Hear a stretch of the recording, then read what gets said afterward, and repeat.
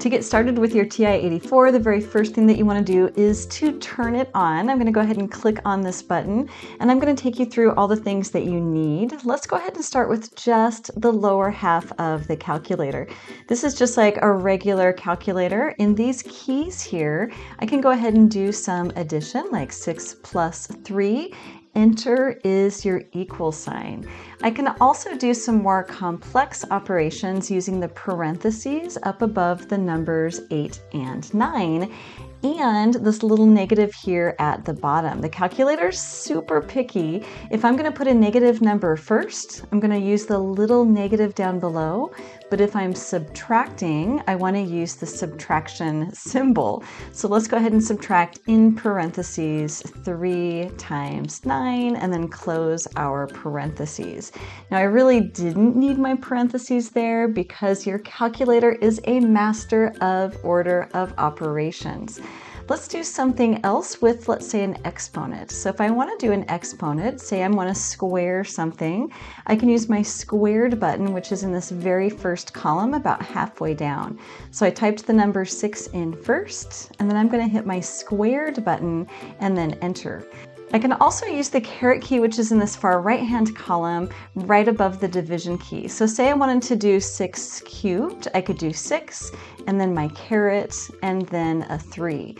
Now what I'm showing you here is gonna work on any of the TI-84 calculators, whether you've got a TI-84 Plus Silver Edition, a TI-84 Plus, a TI-84 with one of the C's, which stands for color, um, all of these really just vary based on whether or not they've got color and how much memory they have. All of the things I'm showing you here today are going to work for all of them. It's also really easy to recall one of your previous inputs. I'm going to use my up arrow, and as I use my up arrow here, I can go through all of my inputs. Now, if your version of the 84 doesn't do this, you can also do second followed by the enter key. Notice that there's a blue entry up above there. If I do second followed by entry, I can bring up my last operations. Now, instead, I want to clear what I've got here. My calculator does allow me to use the up arrow. I can use the up arrow until I'm at whatever value I want and then hit enter. I can even back arrow and change, say I wanted the subtraction to be instead a plus, and then I can go ahead and hit enter. Now, if I wanted to build on this, the calculator automatically stores whatever your last answer is in a value called ANS. So say from right here, I hit the plus button and I wanted to do that previous answer plus six, I get 30. Let's say that now I wanted to do 50 minus 30. I've got a couple of options. I can do um, my up arrow to grab that value of 30, or instead, let me delete this. I'm just hitting my delete button up there towards the top. Instead, I can also grab answer, which is where it stored that last value by using my second key and then answer, and then I can go ahead and hit enter. Next, let's make sure that your calculator is set up for all of the proper defaults. To do that, we're gonna go into the mode button, which is up here near the top row. I'm gonna go ahead and hit mode. And then from mode, I really want yours to be selected just like mine are. For the most part, that means that you've got everything selected that's on the left-hand side. If it wasn't, let's say that instead of radians here, you had degrees selected, you just wanna navigate using your arrow buttons so that you're on radians. Notice how it's blinking. And then if you hit enter, it's gonna change that to be selected. As we go through, there's not a lot of things that you really need to change here. You definitely want it in normal print and not scientific. This float one is set to give you as many decimals as it can. Usually it's up to about 12 or you could set the rounding so that it gives you a fixed number of decimals. I always tell my students to have it set on float. We also want to leave it in function. This is really helpful for graphing. And there's some other options that you can do here. I'm going to go ahead and leave everything else as is. Now I want to get back to that home screen so that I can do some calculations. To do that, we want to quit here. Quit is the blue above mode. So I want to do second followed by mode, and this gets me to my home screen. If I wanted to clear what I had on this home screen, I can use my clear button over here in the right hand column, and I can just go ahead and hit clear.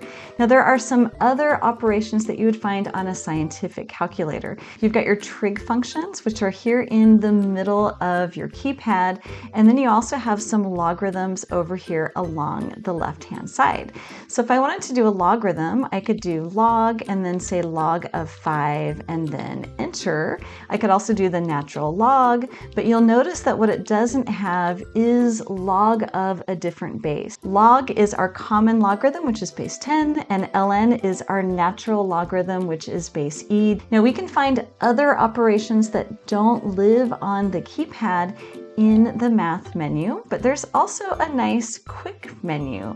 So you'll notice that I've got some function keys F1, F2 through F5 up in those upper buttons. I'm gonna quit out of my math menu and do second quit. Let's take a look at what's in those function buttons. To get to them because they're in green, I'm gonna go ahead and type alpha first and then F1. And you'll notice that it's given you a sub menu as well. This very first menu gives you fraction values. If I go ahead and choose one here just by hitting enter, it gives me that nice fraction print. So I can go nine, let's do like nine fifteenths. And then if I hit enter, it gives me that reduced fraction, which is super, super nice. If I wanted to convert that to a decimal, I can go back up to my F1. So I'm gonna go alpha F1. Remember it saved that 3 fifths into ANS. And I'm gonna go ahead and choose this convert to decimal. So I'm gonna arrow down here convert to decimal. And now it's saying answer, convert to fraction, convert to decimal. And if I hit enter, it's going to give that to me as a 0.6. If I go back to alpha and then F1, notice it gave me fraction, function, matrix, and y variables. This is actually F1, F2, F3, and F4, and I can get there by using my right arrow. Now under function, there are some really nice commonly used functions from that math menu, including a log with a base option. Let's go ahead and choose this one. Now I just arrowed down to number five, but you could also hit number five from here and then enter. It gives me the option of a base. Let's do a base five on our logarithm of 5, this should be 1, and sure enough, that answer is equal to 1. Going back to those function values, and I'm just going to do F1 and then arrow over, you've got lots of different options depending on what you are working on. Let's do some more exploring with the functions that we see there in blue. To get to those, I'm going to use my second key and let's do a square root. So if I wanted to do the square root of say 9 and then enter, I can use my square root key here. I can also do powers of values. Let's do a 10 to the, which I've got right here. So 10 to the, we'll just do 10 squared, which is equal to 100. And I also have my value of pi over here on the right-hand side. So if I do second followed by pi, I end up with my 3.14. Now the 84s do have an automatic shut off, but you might want to turn it off on your own. And to do that, you're going to hit the second button followed by off. Now you should probably subscribe because the TI-84 does so much more, including graphing.